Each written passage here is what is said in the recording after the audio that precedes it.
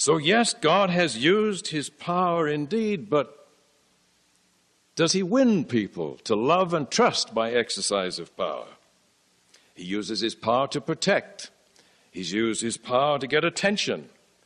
He's used his power to win respect, though often mixed with a great deal of fear. But he's never used power to win what he wants.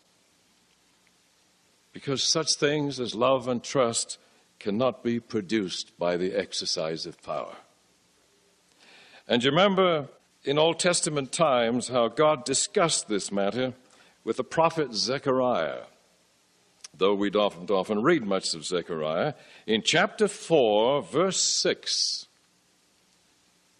God said these famous words by the prophet Zechariah to the leader Zerubbabel. Then he said to me, This is the word of the Lord to Zerubbabel, not by might, nor by power, but by my spirit, says the Lord of hosts. Now, the meaning I grew up with for that verse was not by human might or human power, but by God's power.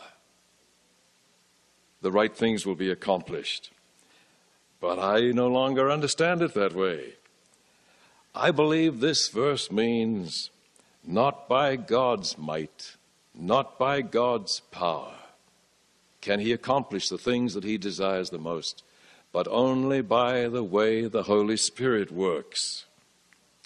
The things that God desires the most love, trust, peace, freedom cannot be produced by might and power, not even divine might and power, but only by the workings of the Holy Spirit. So, yes, God has used